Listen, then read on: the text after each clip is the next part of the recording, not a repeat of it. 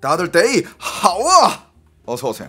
오늘도 차나 뉴스 시작해 보도록 하겠습니다. 자 일단 뭐 이거부터 다루겠습니다. 이거 이건 지금 여러분들 너, 너무 다 잘 알고 있을 거라고요. 중국서 반간첩법 혐의로 한국인 첫 구속 파장 위법 적발 50대 한국 교민에 개정된 반간첩법 위반 혐의 첫 적용 반도체 기술 한국으로 유출한 혐의 작년 말에 체포 후 지금 조사 중이래. 작년 말에 체포가 됐어. 근데 지금 뉴스로 나왔어요. 봤어요 이거? 아, 여러분들 그러니까. 하... 물론 이거는 좀 이제 뭐 특수한 상황이긴 한데 자 여러분들 유튜브에다가 대륙남 방간첩법 이것만 검색해도 아, 나와요 이거 꼭 보세요 자 일단 이 기사 위주로만 얘기를 할게요. 예, 기사 위주만. 자 중국 정부가 간첩 혐의로 한국인을 구속한 사실이 확인되면서 파장이 일고 있다. 중국 당국은 위법한 활동 적발에 따른 정당한 법 집행이라는 입장이다. 여러분들 작년 말에 잡힌 겁니다. 이제 알게 된 거야. 이 사람은 1년 동안 지금 갇혀 있는 상황이고 린젠 중국 외교부 대변인은 29일 브리핑에서 한국 시민이 간첩죄 혐의로 중국 관련 당국에 의해 체포됐다며 주중 한국 대사관의 영상 영사 통보를 진행했고 대사관 영사관원 직무에 필요한 편의를 제공했다고 밝혔다. 대사관 영사 관원 직무에 필요한 편의를 제공했다.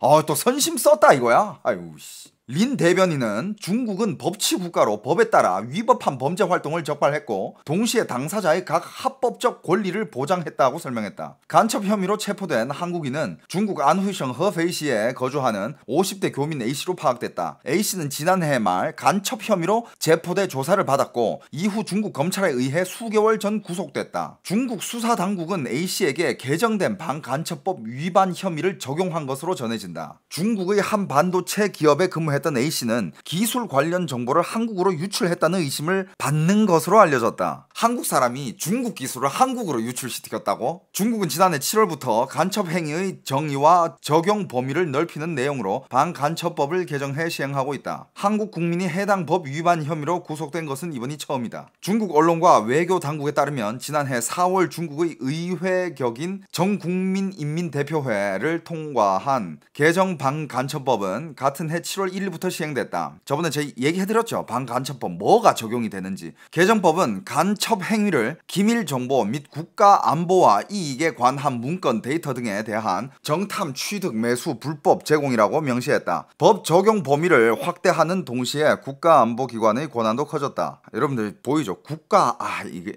이 법이 개정된 이후로 얘네들이 절대 권력이 됐어요. 자, 요 기사만 다 보고 네, 이제 설명드릴게.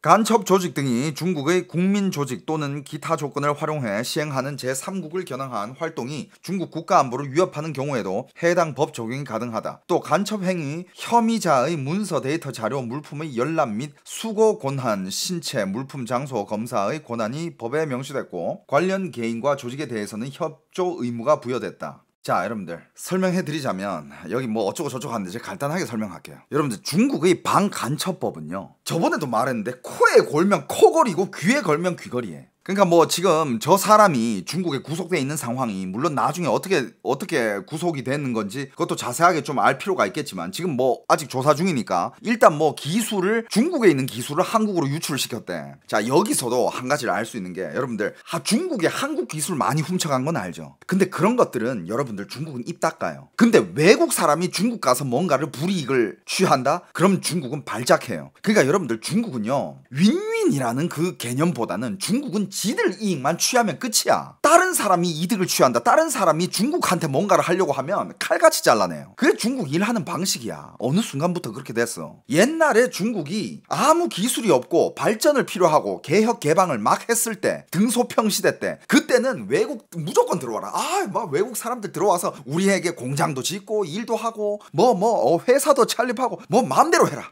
어? 그래야 지들이 그거 다 뺏어갈 수 있거든. 이제 지들도 어느 정도 지들 거 확보하고 이제 그 다 훔쳐온 것들이야. 그러니까 이제 그냥 입 싹 닦아요. 입 싹 닦고 이제 외국인들이 뭐 어쩌고 저쩌고 하면 아 여러분들 이거는 알아야 돼. 그냥 알아야 돼요. 그냥 알고 있어야 돼. 중국한테 뭔가 좀 잘해줬다. 중국에 뭔가 이득이 됐다고 해가지고 아 나도 이제 좀 뭔가를 받겠지 윈윈이겠지. 그딴 거 없어요. 중국은 윈윈 개념이 잘 없어. 그냥 지들 이익 취하면 끝이야. 어 맞아요. 대실남님 말한 것도 맞아. 그리고 그리고 어 이 아, 이거 참 참 하고 싶은 얘기들이 많은데 뭐 생각난 대로 한 개씩 얘기해 볼게요. 여기 지금 기자들이 주중 주중 한국 대사관에 우리 국민 납치나 체포 사실 있냐고 물어보니 없다고 했다가 취재해서 밝혀진 거라고. 이, 여러분들 거기는 또 진짜 여러분들 쥐도 새도 모르게 사라지는 게 이런 거야. 정말 걔네들은 입 닦아요. 그냥 여러분들 중국 가서 뭐 진짜 여러분들이 뭐 여행하다가 돌아다니다가 불이익을 당하잖아요. 여러분들 입장에서는 아니 내가 무슨 방간첩법을 위반했냐라고 얘기할 수 있어. 저번에도 한 사례 알려드렸죠. 수첩을 검사할 때 아, 수첩 한번 봅시다. 그래가지고 아, 수첩에 뭐 없다 봐라. 수첩에 딱 봤는데 수첩 안에 그 지도에 중국은 중국 따로 돼 있고 대만이 국가로 따로 표시가 돼 있는 거야. 수첩 안에 지도 안에. 아니 어떻게 대만을 따로 국가로 표시돼 있냐? 이거 반간첩법에 위반 위배되는 거다. 이걸로 잡아간다니까. 그리고 맞아. 그 지금 한국인 잡혀간 거 50대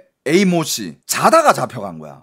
자다가 여러분들 방간첩법 중에 해당 사항 중에 이런 것들이 있습니다. 다시 한번 들어봐요. 자, 여러분들 학술 교류 명목으로 자료를 수집하는 거. 이거 방간첩법에 위반돼. 아, 나는 학술 교류 명목으로 예를 들어서 아, 뭐 중국에 뭐뭐 드론이라든지 뭐 중국에 또 좋은 기술들은 있잖아. 중국의 좋은 기술들 아, 이거 나는 학술 교류 명목으로 자료를 수집했다. 이거 반간첩법에 해방 해당돼. 그게 코에 걸면 코걸이고 귀에 걸면 귀걸이라니까. 그냥 중국 거기서 공안이 와가지고 너 방간첩법 위배했다 하면 내가 왜 내가 뭘 했는데 아 그딴 거 소용이 없어져요. 그 다음에 중국 기업 관원들과 밀접한 관계 이것도 방간첩법에 위배된대. 아니 야 우리 친구야. 친구. 나 나 한국 사람이고 중국 사람이잖아. 우리 친구야. 친구라 가지고 술 한잔 했어. 왜 그게 뭐? 아 근데 왜 이렇게 밀접한 관계를 유지하냐? 니들 혹시 뭐 불법 어 기밀들 주고받고 있는 거 아니냐? 그냥 중국은 졸라 내로남불인 게 지들이 한국 거 빼돌리는 건 괜찮아. 모든 한국 거 컨텐츠들 지들 마음대로 어? 저작권료 1도 안 내고 지들이 보는 건 다 괜찮아. 근데 지들이 뭔가 어? 지들도 이제 좀 잃을 게 있나 보지 이제 자, 그 다음에, 어, 중국의 항구나 군사 활동 이런 거 촬영하잖아요. 이것도 해당 사항입니다. 여러분들, 뭐, 항구에 가가지고, 항구가 멋져가지고 배경으로 사진 찍을 수 있어. 근데 갑자기 공안이 와가지고, 너 방금 이거 항구 사진 찍었냐? 저기 지금 배 나가고 있는데 이 항구 사진 찍은 거냐? 어, 난 그냥 뭐, 어, 내 셀, 셀카 찍었는데? 셀카 딱 보고, 항구 사진 들어갔네. 너 간첩 활동이지. 너 이거 방간첩법 위배됐어. 잡아간다니까? 쥐도 새도 모르게 사라진다니까? 여기 지금 잡힌 지 1년 만에 알게 된 거잖아. 작년 말에 잡혀갔으면. 근데 중국에서는 안 잡아갔다고 얘기 잡아떼때며 처음에.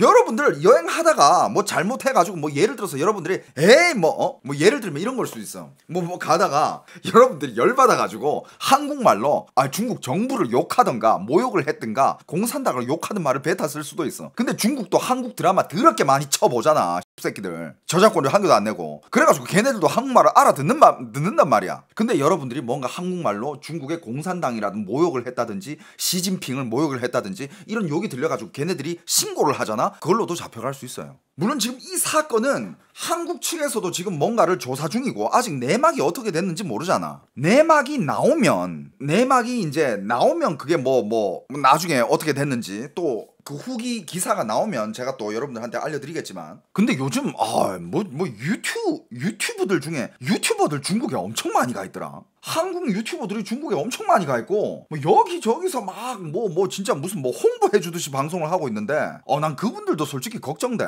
그리고 그걸 보고 또 중국으로 여행 갔다가 또 이게 또 잘못하면 살짝만 삐근하면 진짜 방간첩법은요 그냥 그쪽 그쪽에서 그냥 당신이 그냥 눈에 부술니엔 마음에 안 들어. 아 저 새끼 마음에 안 드네. 야 방간첩법으로 잡아 넣자. 그러면 뭐 어떻게 해서는 꼬투리 잡아낼 수 있다니까. 맨날 저한테 뭐 뭐 아 대륙남님 중국 안 가세요? 중국 언제 가세요? 지금 분위기 안 좋아. 전 작년부터 아니 작년이 뭐야? 오래 전부터 그냥 코로나 때부터 아 중국은 이제 옛날 중국이 아니고 진짜 이건 좀 이상하게 돌아가고 있다. 나는 그게 느껴졌거든요. 그래가지고 난 안 가. 나중에 뭐 또 이게 이게 이게 분위기라는 게 있어. 중국이 분위기가 풀리고 뭔가 좀 이런 게 풀렸을 때 그때 가는 건 몰라도 지금은 난 아니라고 보거든. 그리고 뭐 또 이 와중에 중국 중국 지자체로부터 뭐 광고료 받아가지고 중국 홍보해주고 있는 유튜버들도 있다 하더만. 그러니까 봐봐. 걔네들이 만약에 한국인이 중국 가서 여행을 하게끔 만들려면 뭔가 좀 이렇게 뭐 뭐 친 친한적인 분위기를 좀 이렇게 풍겨야 될 거 아니야. 근데 한국인 구속해버리지. 반간첩법 적용시켜버리지. 근데 그 와중에 또 한국 유튜버들한테 중국 홍보해달라고 돈은 줘. 광고료는 주면서 그럼 뭐 한국 관광객들 많이 오라 이러는 거 아니야. 이 뭐야 이게. 되게 모순적이지 않습니까? 안 그래요? 자, 여러분들. 민주주의를 선양하는 것도 중국에서는 반간첩법에 위배, 위배돼요. 예를 들어서 여러분들 가가지고 예를 들어서 아 요번에 아 이것도 이따가 얘기할 건데 요번에 중국 할로윈 데이 때 난리 났어요. 중국 상하이에서 할로윈 데이 때 막 아 지금 할로윈 데이가 아직 안 지나갔지만 아직 할로윈 데이 정식 날은 10월 31일이니까 근데 이제 저번 주 주말에 코스튬 하고 나갔다가 다 잡혀갔어. 중국에서 코스튬하고 코스플레이하고 나왔는데 다 잡혀갔어요. 근데 만약에 거기 외국인이 가가지고 아니 자유가 없냐? 여기는 뭐뭐 뭐 사람이 자유를 보장 안 해주냐? 내 나라에서는 어뭐 어, 뭐 한국 사람이 예를 들어서 아 나 우리나라에서는 이런 거 아무것도 아니다. 어? 그것도 잡혀갈 수 있어. 반간첩법인 거는. 왜냐하면 한국은 민주주의잖아. 거긴 공산주의고 어? 니들이 자유? 민주주의 지금 선양하는 거야? 야 이거 반간첩법이야 잡아가.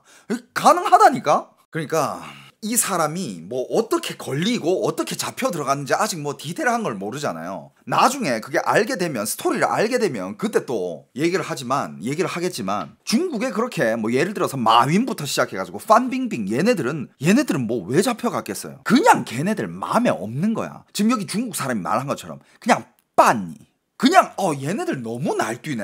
야 얘네들 공산당보다 잘났다고 생각하니 지금? 너무 날뛰네. 야 애들 좀 조용히 시켜. 이래 가지고 그냥 없애버리는 거야. 판빙빙이든 마윈이든 그게 공산주의야. 작년에 판빙빙 봤는데 멀쩡하다고요? 아니 멀쩡하겠지. 정신교육 겁나 받고 뭐 재산 다 털렸겠지.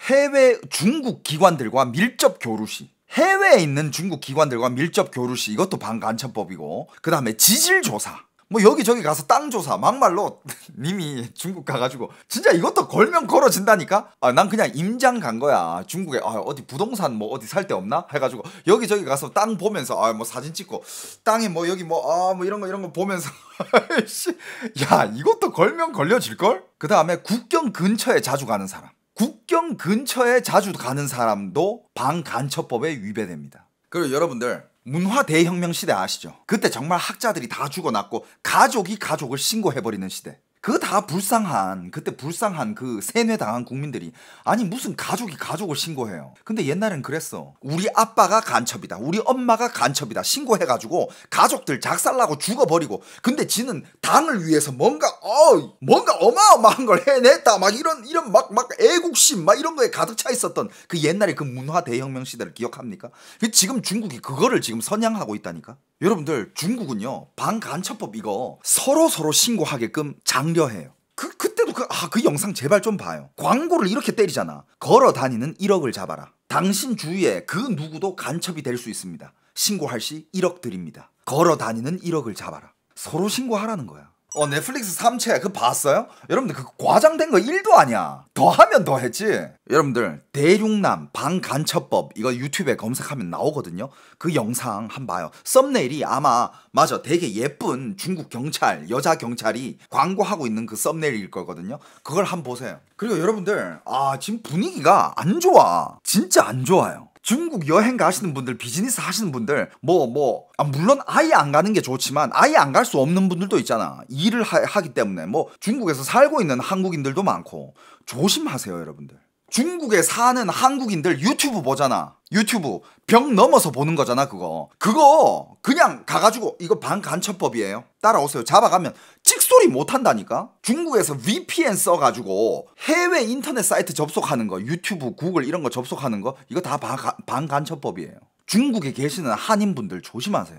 아, 나 이거, 난 이 기사 보고, 물론 뭐 내부 사정이 아직 뭐 지금 조사된 게 없어가지고, 그냥 일단 잡혀갔고, 지금 1년 동안 거의 구금돼 있고, 지금 이것만 알고 있잖아. 말이 뭐 위법 적발이지, 어떤 위, 어떤 위법 적발이 됐는지 아직 자세한 게 안 나오고 있잖아요. 중국 반도체 정보 유출 의심이래. 그러니까 이 사람이 보니까 옛날에 어 삼성 반도체에서 20년 가까이 삼성 반도체 부문에서 이온 주입 기술자로 근무했대. 그러면서 중국에 있는 창신 메모리로 가서도 이 업무를 담당했고 아무튼 기술자인가 봐. 반도체 웨이퍼에 레이저가 회로를 새기면 이온을 주입해 전기가 흐르도록 하는 공정이래. A씨는 중국 다른 두 곳의 반도체 회사에서 일했지만 허페이시 국가안정국은 창신 메모리 근무 당시 반도체 관련 정보를 한국으로 유출했다고 의심하고 의심하고 있다. 그리고 봐봐. 예를 들어서 중국 입장에서 뭐 반간첩법을 위배했다고 잡아갔어. 당신한테서 듣고 싶은 말을 듣고 싶어 듣고 싶어 해. 솔직히 요즘 시대가 사람을 고문할 수 있는 시대는 아니야. 그렇잖아. 고문하고 나오면 사회적 문제 일어나고 막 난리 날 거니까. 근데 일단 당신을 잡아가 가지고 조사를 한다라는 거는 그건 위법했으니까 조사는 할 수 있잖아. 근데 여러분들 조사를 여러분들 조사를 한 10년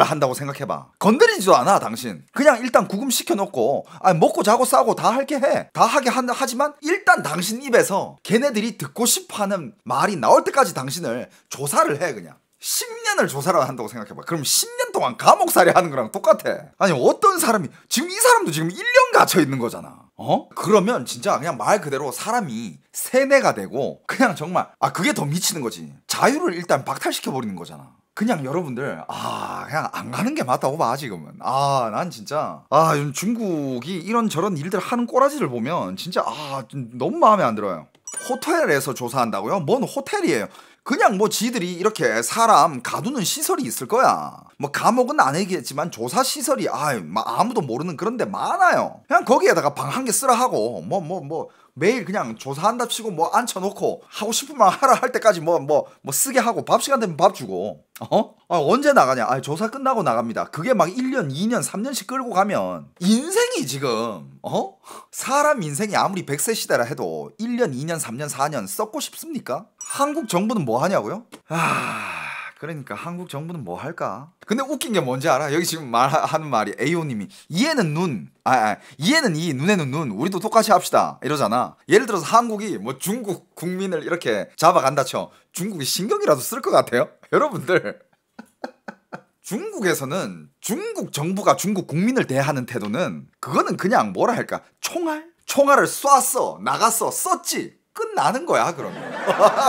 소모품이야. 그게 중국에서는 그걸 딱히 뭐 아, 신경도 안 써요. 근데 더 비참한 게 뭔, 뭔지 알아? 중국 사람은 그걸 모른다니까. 중국 사람은 공산당이 최고인 줄 알고 공산당이 시키는 대로 하면 지가 잘 될 줄 알아. 어릴 때부터 세뇌 당했으니까. 그게 겁나 불쌍한 거예요, 진짜.